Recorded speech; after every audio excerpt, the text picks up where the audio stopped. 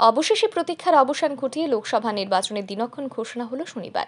ঘোষণা মোতাবেক ত্রিপুরায় দুটি পর্যায়ে নির্বাচন সম্পন্ন হবে। পশ্চিম ত্রিপুরা লোকসভা আসনে নির্বাচন হবে উনিশে এপ্রিল এবং পূর্ব ত্রিপুরা আসনে নির্বাচন সম্পন্ন হবে ছাব্বিশে এপ্রিল। নির্বাচনের দিনক্ষণ ঘোষণা হতেই পূর্ব ত্রিপুরা লোকসভা আসনের বিজেপি মনোনীত প্রার্থী কৃতি সিং দেববর্মার সমর্থনে ভারতীয় জনতা পার্টির ফটিকরায় মণ্ডলের উদ্যোগে এক মিছিল সংগঠিত হয়।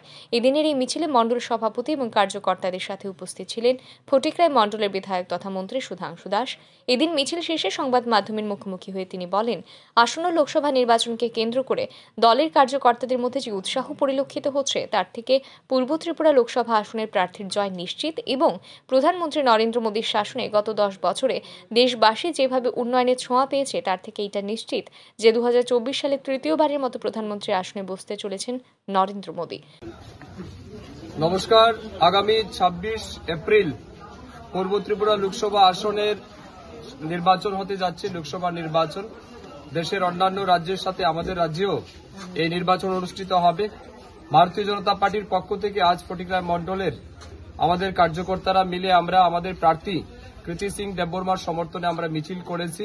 এই স্বতঃস্ফূর্ত মিছিল প্রমাণ করছে, আগামী দিন আমাদের যিনি প্রার্থী লোকসভা নির্বাচনের কৃতি সিং দেববর্মা, তার জয় শুধুমাত্র সময়ের অপেক্ষা এবং যেভাবে নরেন্দ্র মোদীজির শাসনে গত দশ বছর যাবৎ মানুষ অনেক বেশি উন্নয়নের ছোঁয়া পেয়েছেন, অনেক সুবিধা পেয়েছেন। আজ প্রত্যেকেই তারা বেরিয়ে এসেছেন।